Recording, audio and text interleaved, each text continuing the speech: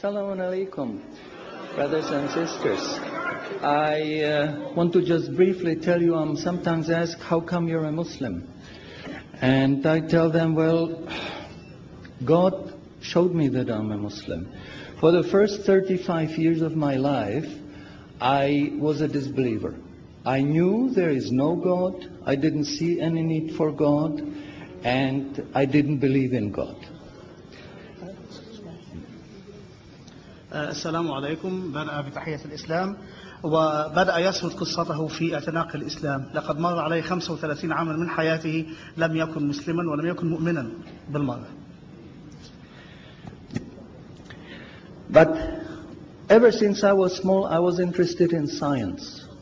And as my knowledge of science grew, 25 years ago, in basically a flash, I came to the conclusion that the universe is so perfectly made and everything so perfectly matches together that there must be God. So in one second, I went from certainty there is no God to certainty there must be God and only one God.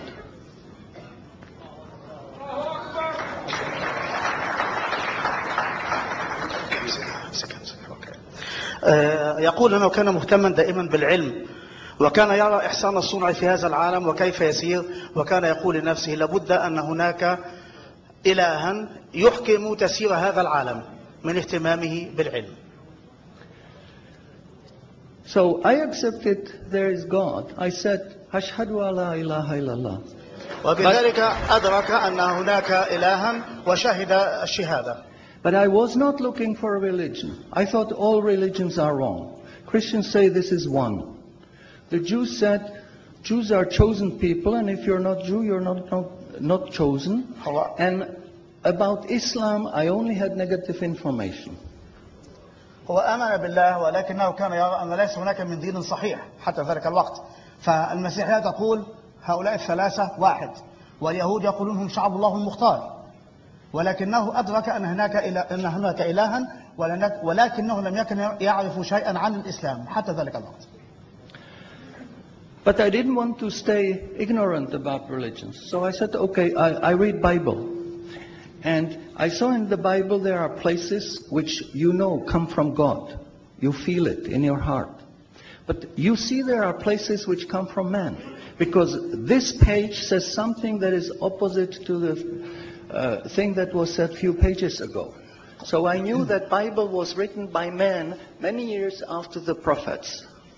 قرر أن يتعلم عن الأديان وبدأ بقراءة الإنجيل ولكنه وجد في الإنجيل شيئا يلامس قلبه فأدرك أن هذا من عند الله من كلام الله الصحيح والصفحة الأخرى من الإنجيل تناقض ما قالته الصفحة الأولى فأدرك أن هناك الكثير من الكتابات كتبت بعد سنوات وأعوام طوال من الرسل And I bought a Quran, English translation of the Quran. And when I started reading it, I started reading it with the same idea that just like Bible, it was written by man.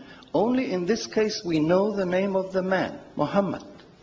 ولكنه بدأ يقرأ القرآن وكان ظانا أنه يقرأ كما قرأ الإنجيل أو الأناجيل من قبل ظنا منه أنه سيجد به بعض الأجزاء من عند الله وبعضها الآخر كتبها إنسان ما عرف اسمه محمد And then when I was maybe about one third in Quran, I remember telling my wife, you know, this Muhammad, he must have been a very smart, very intelligent man because this book is very clear, very logical, very easy to follow, and there are no contradictions.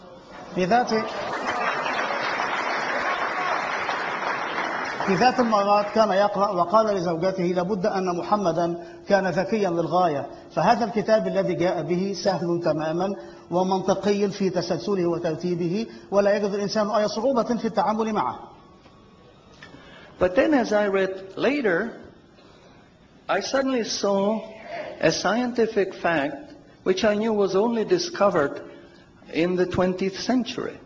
ولكنه أثناء قراءته لفت نظره آية تتكلم عن حاجة علمية شيء علمي عفوا لم يكتشف إلا في هذا القرن العشرين So immediately I saw that Muhammad is not the author of the Quran. وهنا- That Muhammad is a messenger sent by God to give the Quran to mankind. وهنا, So, وهنا أدرك أن محمدا ليس هو كاتب هذا النص ولكنه رسول أوصله له بهذا الكتاب للناس so I saw, mashallah, Muhammad Ras- Rasulullah. قال أشهد أن لا إله إلا الله محمد رسول أشهد أن محمدا رسول الله So I said, mashallah, I'm a Muslim. ثم قال ما شاء الله أنا مسلم أصبح مسلما بتلاوته للشهادة And, and people ask me, well, how did you react? You said you heard bad things about Muslims, you didn't know anything about Islam. How did you react? Did you want to be Muslim? هناك من سأل كيف أسلمت إنك تعرف أشياء سيئة عن المسلمين ولكن تعرف ولم تكن تعرف كثيرا عن دينهم فكيف أسلمت ماذا حدث And I said, I had no choice. Because when I was born, I was a baby. I didn't know I'm different from my mother. Then a little bit later, I knew my mother is somebody else, and when she's gone, I cried because I was afraid she's gone. But I still didn't know what I am. And then one day, I suddenly start, mashallah, I'm a boy. أسلم لأنه عندما ولد وكان طفلا كان يتصور أن أمه وذاته شيئا واحدا فإذا غابت أمه عنه بكى ثم نما قليلا قليلا وأصبح آه، ولدا أدرك أنه ولد وأنه شخصية مختلفة عن أمه Uh, And nobody asked me, what, what did you do? Did you want to be a boy? No, because we know we don't have a choice. God makes us this. So, mashallah, when that was the greatest blessing on my wife, uh, of my life. I have wonderful family, I have wonderful children, wife, everything, but the greatest blessing was that God showed me His guidance. And when I pray, I make dua, God, please let me die as a believer. Let me never disbelieve again. لم يكن له خيار إلا أن يكون مسلما فكما قال أنه ولد طفلا ونما وكبر وأدرك أنه ولد ولم يكن له في ذلك خيار ولكنه وجد أن لا خيار له سوى الإسلام وبذلك أصبح مسلما وهو دائما يصلي ويدعو يدعو الله ألا يتركه يموت على ملة غير الإسلام بعد أن اهتدى إليها And a little while ago, I heard somebody here who was concerned that maybe the signs that are discovered in the Quran may be wrong. Uh, we should have a committee to see if the signs are right. God says in the Quran, we demonstrate our miracles to those who attained certainty. سمع من يقول أنه ربما الآيات العلمية أو ما يكتشف من علوم استنادا إلى القرآن قد تأتي الأيام باختلافها أو يثبت خلافها فيما بعد ولكنه يقول أن هناك آية في القرآن ومعنى ما قاله معذرة لا أحفظ القرآن كاملا ولكنه يقول أن آيات الله موجودة هذا المعنى عفوا آيات الله موجودة لمن يريد أن يتحقق فالكتاب به كل شيء So, my, my answer is ما فرطنا في الكتاب من شيء شكرا So, so my answer is, when you have strong iman and you have knowledge of the scientific facts, when you see it in the Quran, you don't have to worry, is it right or is it wrong? It will jump out at you, it will hit you. And you will say, MashaAllah, this is a sign from God. And you want to make sajda because you feel very humble. Because you know this is the truth. There is no false science, no wrong science, because this book is from God and He doesn't make any mistakes. حين- حينما حينما نتعرف على حقيقة علمية ونجد لها ذكرا في القرآن ربما كانت خافية عنا وفجأة تفجأك بوضوحها. وحينئذ تدرك أن هذا الكلام الموجود في القرآن من المستحيل أن يأتي ما يتعارض معه لأنه علم صادر عن العليم.